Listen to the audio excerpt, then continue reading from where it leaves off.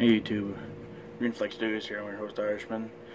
Here's a very quick video talking about Phoenix weekend.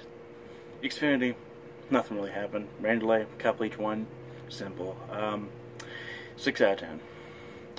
Cup race, oh boy, that was a fun one. Kyle Busch went in stage 1. Kurt, Kurt Busch went in stage 2 with a bit of strategy. Two actual yellows during the race. One for Corey LaJoie blowing up, and another for Paul Menard um, blowing a tire or something.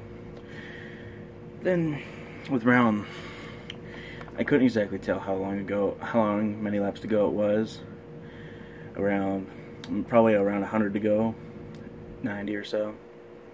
It was a three, and eventually a four-car race with Hamlin, Harvick, Busch, Kyle Busch, you know, and uh, Chase Elliott. All in all, very good race. Very fun. That race gets an 8 out of 10 for me. You enjoyed, like, comment, subscribe, all that stuff. Follow my Twitter. You, Flag Studios signing off. See you next time.